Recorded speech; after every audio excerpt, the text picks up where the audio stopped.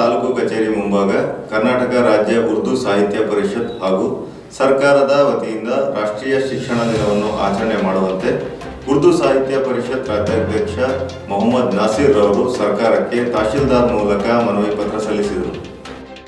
ದೇಶದಲ್ಲಿ ಮೊದಲ ಬಾರಿಗೆ ರಾಷ್ಟ್ರೀಯ ಶಿಕ್ಷಣ ನೀತಿಯನ್ನು ಜಾರಿ ಮಾಡಿ ಶಿಕ್ಷಣ ಕ್ಷೇತ್ರದಲ್ಲಿ ಕ್ರಾಂತಿಯನ್ನುಂಟು ಮಾಡಿದ ಭಾರತ ರತ್ನ ಡಾಕ್ಟರ್ ಮೌಲಾನಾ ಅಬ್ದುಲ್ ಕಲಾಂ ಆಜಾದ್ ರವರ ನೆನಪಿನಲ್ಲಿ ಸರ್ಕಾರದ ವತಿಯಿಂದ ರಾಷ್ಟ್ರೀಯ ಶಿಕ್ಷಣ ದಿನವನ್ನು ಆಚರಣೆ ಮಾಡಬೇಕೆಂದು ಉರ್ದು ಸಾಹಿತ್ಯ ಪರಿಷತ್ನ ರಾಜ್ಯಾಧ್ಯಕ್ಷ ಮೊಹಮ್ಮದ್ ನಾಸೀರ್ ತಿಳಿಸಿದರು. ಗುಡಿಬಂಡೆ ಪಟ್ಟಣದ ತಾಲೂಕು ಕಚೇರಿ ಮುಂಭಾಗ ಕರ್ನಾಟಕ ರಾಜ್ಯ ಉರ್ದು ಸಾಹಿತ್ಯ ಪರಿಷತ್ ವತಿಯಿಂದ ಹಾಗೂ ಸರ್ಕಾರದ ವತಿಯಿಂದ ರಾಷ್ಟ್ರೀಯ ಶಿಕ್ಷಣ ದಿನವನ್ನು ಆಚರಣೆ ಮಾಡುವಂತೆ ಸರ್ಕಾರಕ್ಕೆ ತಹಶೀಲ್ದಾರರ ಮೂಲಕ ಮನವಿ ಪತ್ರ ಸಲ್ಲಿಸಿ ಮಾತನಾಡಿದ ಅವರು, ಕಳೆದ ಎರಡ್ ಸಾವಿರದ ಎಂಟರಲ್ಲಿ ಸರ್ಕಾರ ಮೌಲಾನಾ ಆಜಾದ್ ಅವರ ಜನ್ಮದಿನದ ನೆನಪಿನಲ್ಲಿ ನವೆಂಬರ್ ಹನ್ನೊಂದರಂದು ರಾಷ್ಟ್ರೀಯ ಶಿಕ್ಷಣ ದಿನವನ್ನಾಗಿ ಆಚರಣೆ ಮಾಡಲು ನಿರ್ಧರಿಸಿತು. ಅಂದಿನಿಂದ ಸುಮಾರು ಎರಡು ಮೂರು ವರ್ಷಗಳ ಕಾಲ ಮಾತ್ರ ಈ ಆಚರಣೆ ನಡೆದಿದ್ದು, ನಂತರ ಆಚರಣೆ ಮಾಡುತ್ತಿಲ್ಲ. ಆದರೆ ನಮ್ಮ ಸಾಹಿತ್ಯ ಪರಿಷತ್ ವತಿಯಿಂದ ಪ್ರತಿ ವರ್ಷ ರಾಷ್ಟ್ರೀಯ ಶಿಕ್ಷಣ ದಿನಾಚರಣೆಯನ್ನು ಆಚರಣೆ ಮಾಡುತ್ತಿದ್ದೇವೆ.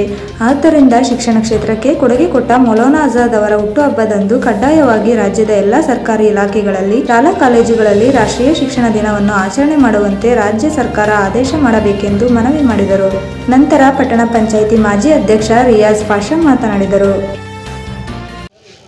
ಇವತ್ತೇನು ಕರ್ನಾಟಕ ಉರ್ದು ಸಾಹಿತ್ಯ ಪರಿಷತ್ ವತಿಯಿಂದ ಹಾಗೂ ಈ Tipu Sultan welfare association trust ವತಿಯಿಂದ ಇವತ್ತೊಂದು ಮೆಮೊರಂಡಮ್ ಕೊಟ್ಟಿದ್ದೀವಿ. ಆ ಮೆಮೊರಂಡಮ್ಮು ಕೊಡೋಕ್ಕೆ ಕಾರಣ ನಮ್ಮ ದೇಶದ ಮೊದಲನೇ ಶಿಕ್ಷಣ ಮಂತ್ರಿ ನಮ್ಮ ದೇಶದ ಮೊದಲನೇ ಶಿಕ್ಷಣ ಮಂತ್ರಿ ಆಗಿದ್ದರು ಡಾಕ್ಟರ್ ಮೌಲಾನಾ ಅಬುಲ್ ಕಲಾಂ ಆಜಾದ್ನವರು. ಅವರು, ಅವ್ರ ಜನ್ಮ ದಿನಾಚರಣೆ ಸೆಂಟ್ರಲ್ ಗೌರ್ಮೆಂಟಿಂದನೇ ಆರ್ಡರ್ ಆಗಿದೆ.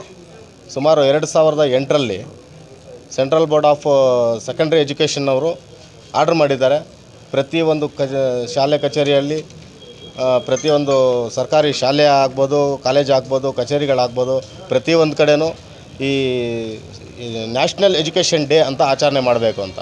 ಮೌಲಾನಾ ಆಜಾದ್ನವರ ದಿನಾಚರಣೆ ಅಲ್ಲ ಅದು. ನ್ಯಾಷನಲ್ ಎಜುಕೇಷನ್ ಡೇ ಅಂತ ಆಚರಣೆ ಮಾಡಬೇಕಂತ ಆರ್ಡರ್ ಆಗಿತ್ತು. ಸುಮಾರು ಒಂದು ಎರಡು ಮೂರು ವರ್ಷ ಮಾಡಿದ್ರು. ಮತ್ತು ಅದನ್ನು ಮರ್ತೋಗಿದ್ದಾರೆ. ಅದಕ್ಕೆ ನಾವು ನಮ್ಮ ಉರ್ದು ಸಾಹಿತ್ಯ ಪರಿಷತ್ ವತಿಯಿಂದ ಹಾಗೂ ಟಿಪ್ಪು ಸುಲ್ತಾನ್ ವೆಲ್ಫೇರ್ ಟ್ರಸ್ಟ್ ವತಿಯಿಂದ ಇವತ್ತು ತಹಸೀಲ್ದಾರ್ ಮುಖಾಂತರ ನಾವು ಮಾನ್ಯ ಮುಖ್ಯಮಂತ್ರಿಗಳಿಗೆ ಮನವಿ ಪತ್ರವನ್ನು ಸಲ್ಲಿಸಿದ್ದೀವಿ. ಈಗ ಇಷ್ಟು ಕೊಟ್ಟಿದ್ದೀವಿ. ಇದು ನವಂಬರ್ ಹನ್ನೊಂದರಿಂದ ಹನ್ನೊಂದಕ್ಕೆ ಶಿಕ್ಷಣ, ರಾಷ್ಟ್ರೀಯ ಶಿಕ್ಷಣ ದಿನಾಚರಣೆ ಮಾಡೋಕ್ಕೆ ಅವಕಾಶ ಕೊಟ್ಟಿಲ್ಲ ಅಂದರೆ ನಾವು ಇನ್ನೂ ಮುಂದಕ್ಕೆ ಹೋಗಿ ನಾವು ಇನ್ನೂ ಉಗ್ರ ಹೋರಾಟವನ್ನು ಮಾಡ್ತೀವಿ ಅಂತ ನಾನು ಮಾಧ್ಯಮ ಮುಖಾಂತರ ಹೇಳೋಕ್ಕೆ ಇಷ್ಟಪಡ್ತೀನಿ ಸರ್. ವೀಕ್ಷಕರೇ, ಇವತ್ತು ನಾವು ಟಿಪ್ಪು ಸುಲ್ತಾನ್ ವೆಲ್ಫೇರ್ ಅಸ, ಅಸೋಸಿಯೇಷನ್ ಟ್ರಸ್ಟು ಹಾಗೂ ನಮ್ಮ ಉರ್ದು ಕರ್ನಾಟಕ ಸಾಹಿತ್ಯ ಪರಿಷತ್ ವತಿಯಿಂದ ತಹಸೀಲ್ದಾರ್ ಸಾಹೇಬರಿಗೆ ಒಂದು ಮನವಿ ಪತ್ರ ಕೊಟ್ಟಿದ್ದೀವಿ.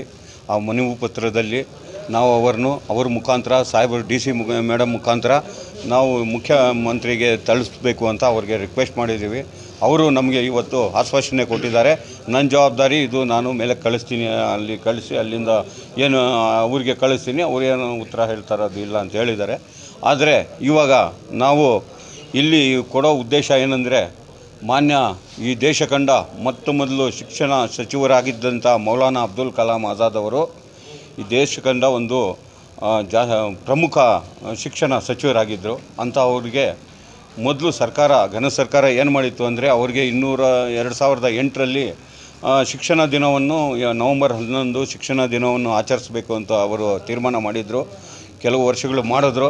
ಆಮೇಲೆ ಕೆಲವು, ಅದೇ ಅದೇ ಥರ ಕೆಲವು ವರ್ಷಗಳ ಹಿಂದೆ ಅದನ್ನು ಅವರು, ಮ ಕಾರಣಾಂತಗಳನ್ನು ಅದನ್ನು ಸಗತಗೊಂಡಿದ್ದಾರೆ ದಯವಿಟ್ಟು ಅದು ಮುಂದೆ ಪ್ರಾರಂಭಿಸಬೇಕು.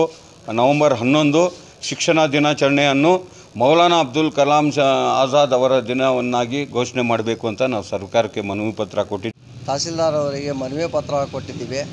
ಏನೆಂದರೆ ನವಂಬರ್ ಹನ್ನೊಂದರಂದು ರಾಷ್ಟ್ರೀಯ ಶಿಕ್ಷಣ ದಿನಾಚರಣೆಯನ್ನು ಆಚರಿಸ್ತಾ ಇದ್ವಿ.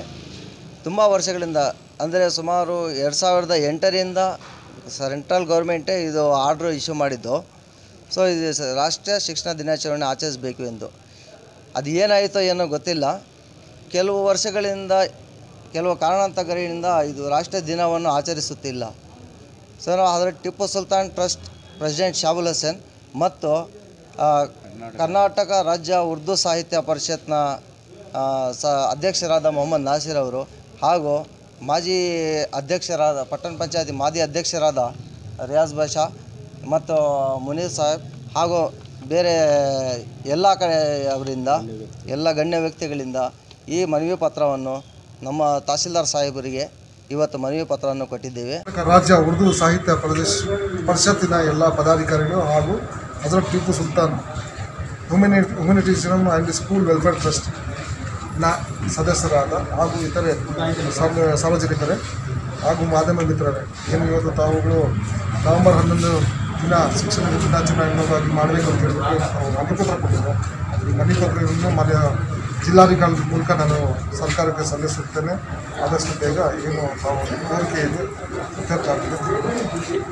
ಈ ವೇಳೆ ಉರ್ದು ಸಾಹಿತ್ಯ ಪರಿಷತ್ನ ನಿರ್ದೇಶಕರಾದ ಮುನೀರ್ ಅಹಮದ್ ಶಬೀರ್ ಅಹಮದ್ ಮುಸ್ತಫಾ ಟಿಪ್ಪು ಸುಲ್ತಾನ್ ವೆಲ್ಫೇರ್ ಟ್ರಸ್ಟ್ನ ಶಾಬುಲ್ ಹಸೇನ್ ಕನ್ನಡ ಸೇನೆಯ ಅಂಬರೀಶ್ ಸೇರಿದಂತೆ ಹಲವರು ಇದ್ದರು. ಇದಿಷ್ಟು ಇವರೆಗಿನ ಪ್ರಮುಖ ಸುದ್ದಿ ಹೆಚ್ಚಿನ ಅಪ್ಡೇಟ್ಸ್ಗಾಗಿ ನೋಡ್ತಾ ಇರಿ ಗುವಾಹಟಿ ಇದು ನಿಮ್ಮ ಧ್ವನಿ.